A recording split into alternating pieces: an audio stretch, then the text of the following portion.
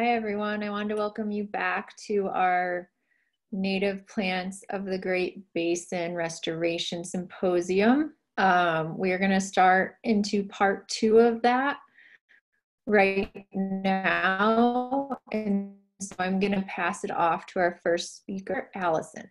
Hi, everyone. Thanks for joining. Um, and thank you, Sarah, for organizing this session. Um, my name is Alison Agneray and I am a PhD candidate um, at the University of Nevada in Reno. And I work with um, my two advisors, Beth Parchman or Beth Leger and Tom Parchman.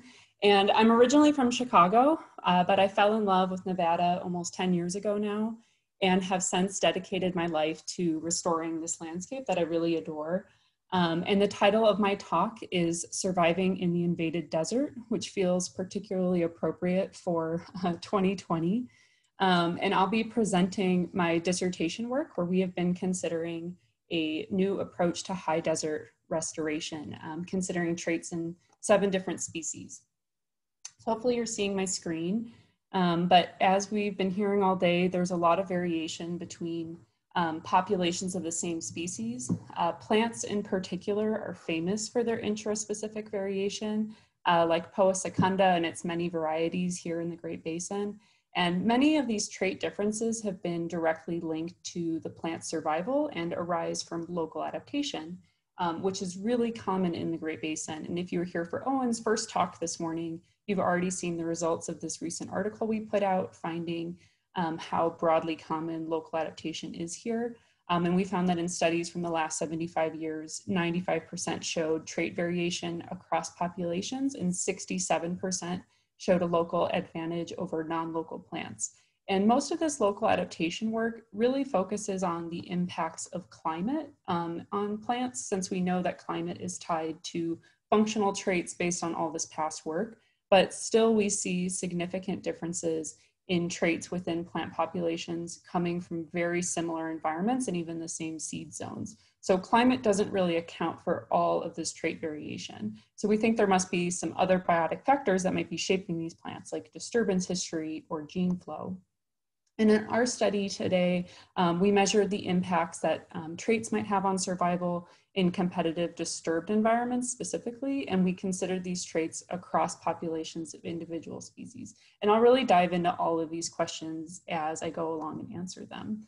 Um, so to address all these goals, we collected from across the Western Great Basin, um, where all seven of these um, plants were growing together in extremely similar climates. We only had two different seed zones across this whole area, and we used these seeds to establish three common gardens. And these garden sites would be considered a restoration nightmare. Um, they fell again into the same two seed zones as our collection sites, the sort of generalized seed zones, and all three had burned and were subsequently invaded by cheatgrass and then continuously grazed by deer and cattle. And we chose these environments for our gardens um, because we wanted to put our seeds through the gauntlet. If you could survive this type of landscape, then we think you'd be really relevant for other restoration projects in the region. So once we had our gardens picked out, collected all the seeds, we glued seeds individually to toothpicks and planted them to track their growth easily in this really um, sort of dense uh, field. Um, and then after planting, we monitored each seed for emergence and survival. And the results of this field test are my real primary indicator for um, a successful population. Um, unfortunately, shrubs and forb seeds didn't cooperate in the field, either due to dormancy or just not having enough replication. Um, so to overcome that lack of data, we also um, had an alternative indicator for successful population using these competition experiments, um, where in the greenhouse we planted native plants alongside cheatgrass to be able to see what the impacts um, cheatgrass have on these plants. And it was really dramatic as you see in these two photos. Um, while it's not the same as the field test, we can confidently say that these plants were really suffering um, with cheatgrass, and two species were even reduced by over 80% when planted with cheatgrass. And that's only if they survived, and a lot didn't. Um, so with that data collected, we answered our first question, um, looking at the differences in who survived um, based on where the seeds came from. And across the board here, just average rates of survival across all of the gardens that we had. Um, and I should note survival means you not only emerge from the ground, but then you also live to the end of the season. And there was a huge range in survival by species, and the numbers in parentheses indicate the survival rates across gardens, which was also a pretty big range. Um, so first, let's just clue in on LMS at the California garden. So this graph has seed sources, so where they were collected from across the x-axis, and then their um, survival at that garden on the y. And then that black line across the middle indicates sort of average um, survival. And you can see there were a lot of populations that were either above or below average. Um, and so the answer was to our question was yes, there is variation in survival. And I'm not going to show you results from every species, every garden, but they were replicated for all the shrubs and forbs and the stipa species in California. Now, one species, Poa secunda, was the only one that didn't show significant um, variation in survival uh, based on where the plants came from. Um, but a few seed sources did seem mostly above or below average. And the stipa also had the same null response at two gardens. Um, but all of this work led us to wonder for my next question, which was, could we identify um, any locations that were producing really successful seeds across all of the species? And that might point us to spots um, in the region where um, there are conditions ideal uh, for creating seeds that might do well establishing in an invaded system. And that's completely different than how we think about um, picking seeds for restoration now, where we use more of a mishmash of seeds pulled from multiple locations. And there really is growing evidence from more academic work and community ecology that show that plants sourced from the same locations and then transplanted together, um, they might benefit from some coevolution and keeping them together in a restoration um, environment leads to more success in establishment.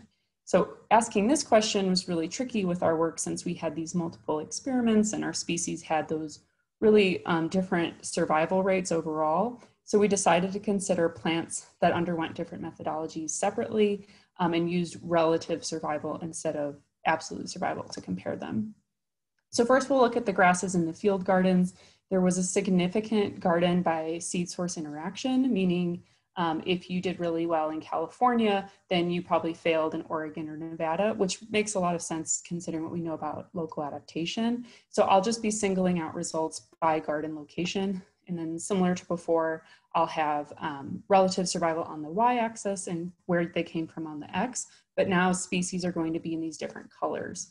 Um, so now we're just looking at results from California alone, and you can see, yes, totally, some populations were across all three species of grasses were either above or below average. So that might indicate there's some evidence of shared history affecting their performance, where these places like PL2, which is all the way on the right, are creating these winning, sort of winning seed sources, but places like AUSU are almost all below average. Um, and now let's look at results from the greenhouse with the shrubs and forbs. Um, again, there was variation, but we can see a few names that sound familiar, like PL2 is near the top in the top three, but then AUSU is down in the bottom in the bottom three. And you know, these aren't um, in the same model because they had those wildly different methodologies, but it does seem like there is a biologically um, relevant pattern occurring here. So then using the same seeds that we collected for the first experiment, we then established a greenhouse common garden to extract seedling shoot and root traits for all species and populations. And our team harvested over 7,000 seedlings at very specific ages and scanned them to collect these fine scale data listed in the upper left figure. Um, and this is similar to Beth's talk earlier where she kind of reviewed these methods and we just put out a paper um, if you're interested in knowing how we do this. So I wanted to first determine um, if these traits were, these root, these like seedling traits were different um, across populations, across species. And there was only one exception across all of the species and traits. Um, but I can confidently say that seed source location, where they came from, predicted differences in every single trait, um, suggesting that there is a genetic basis uh, for these traits. And here's just an example with root mass ratio, um, where you can see the spread in how seedlings allocated their resources across species, but then also within species across populations. Um, and there were pretty wide ranges. So with all of this trait data collected, I asked my last question, which was, were these traits correlated with survival? Um, and I condensed all the trait and survival data and was able to plug them into these multiple regression models. So I'll show you um, the uh, results for the top three traits. So that top three traits were average diameter, days to emerge, and root mass ratio. Um, so I'll show you uh, the partial effects estimates on the um, y-axis. You can see the impacts on survival for all these traits. So interestingly, the traits did not all follow the same patterns across all species. For instance, we can say generally larger diameter roots and less days to emerge were correlated with greater survival, but root mass ratio's impact on survival was split by species, where lower root mass ratio or less root mass compared to above ground growth, so they had a lot like bigger roots. That was really great for sagebrush, um, but higher root mass ratio um, what for rabbitbrush and the forbs was favored. And these results were really similar for grasses with only Poa secunda favoring the higher um, above ground growth. So I'll just quickly summarize. Um, despite being collected from very similar climates, our seed sources were different from each other, apart from Poa secunda in survival. Um, and then we found several locations with really high performing seeds um, across all of the species collected. So there, that might indicate some community level adaptation is occurring. Um, and then finally, there were a few traits that were generally predictive across all species of survival, like fast emergence and thick roots. Um, and as a quick final note, these findings are translating into action right now, where we made SOS collections of our top performing seeds and are now working to get them increased for use in future restoration projects. Um, we're also growing an F1 garden using all these same seeds to ask what the maternal effects are um, on these traits. And then finally, we created seed mixes using the top populations to understand whether all of this trait-based work might have impacts on um, a community when we plant them all together. So keep an eye out for our future work if that interests you.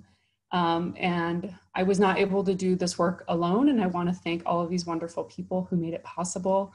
And I also want to congratulate Fred Edwards on his new position and say that you will be really dearly missed. Nevada won't be the same without you. So thank you, Fred. Um, and I'd love to take questions if there is time.